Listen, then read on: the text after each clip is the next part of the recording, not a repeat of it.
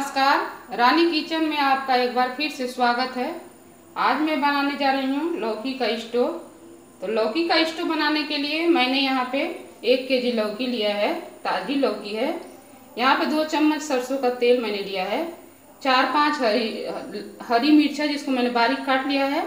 तीन चार इसमें लिया है लाल मिर्च, खड़ा, नमक स्वाद के अनुसार लें।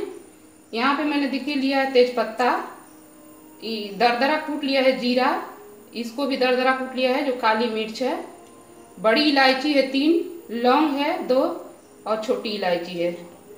अगर आप मेरे चैनल पे नए हैं तो मेरे चैनल को सब्सक्राइब कर दें और बेल आइकन को दबा दें ताकि आने वाली वीडियो आपको सबसे पहले मिले। तो हमने कुकर गैस पे चढ़ा दिया है। कुकर हमारा जो है गर्म हो गया है तो इसमें मैं तेल डाल दे रही हूँ। अब इसी के साथ मैं डाल दे रही हूँ इसमें।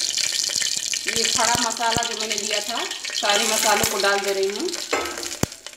और इसमें जो हरी मिर्च और लाल मिर्च है, इसको भी मैं डाल दे रही हूँ।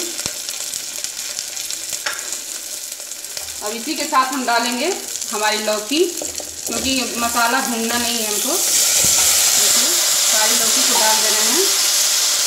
अब इसको ढक करके हम पकाएँगे, अभी चलाएँगे नहीं। मीडियम आँच पर मैं इसको पाँच मिनट तक ढक के पका रही हूँ।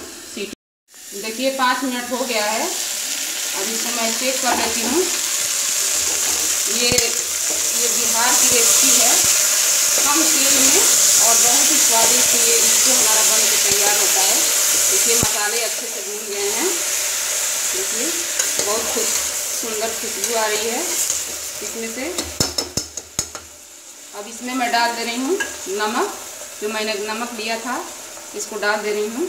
और कम मसालों में बनने वाली ये जो सब्ज़ी है इसको बहुत आसानी से बन जाती है। तो इस तरह से बनाएँ आप लोग स्टोव घर पे, कम मसाले तेल में। आप चाहें तो इसमें प्याज भी, लहसुन भी डाल सकते हैं।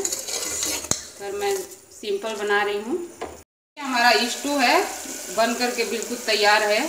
इसको नमक डालने के बाद मैंने पाँच मिनट तक फुल आँच करके मैंने इसको पकाया है। इसका पानी देखिए बिल्कुल सूख गया है।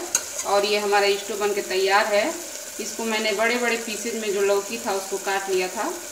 और देखिए, अच्छे से पक गया है, देखिए, गल गया है। तो इसको मैं निकाल ले रही हूँ, गैस कर दे रही हूँ बंद। और इसको प्लेट में निकाल ले रही हूँ। देखिए, हमारा लौकी का स्टोव बन के बिल्कुल तैयार है। आप इस तरह से घर पे लौकी का स्टोव बनाइए, कम तेल में। और बहुत ही स्वादिष्ट लौकी का स्टोव बन के तैयार है। तो आज का हमारा रेसिपी कैसा लगा? कमेंट में ज़रूर बताएँ। धन्यवाद।